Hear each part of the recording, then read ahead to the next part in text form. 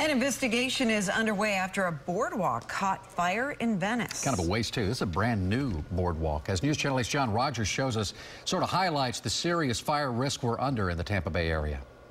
Good evening. I want to show you this. Take a look. This whole area of this boardwalk is in ruins. And mind you, this boardwalk was brand new. Officials are furious and they want to know who's responsible. Early Sunday morning, firefighters rushed to Service Club Park, where a large portion of this boardwalk caught fire. It was very difficult to reach the blaze, but they furiously doused the flames. And sadly, charred and molten remains were left behind. James, how disappointing is this? Extremely frustrating, John. Uh, Assistant City Engineer James Clinch said this boardwalk was just completed last week.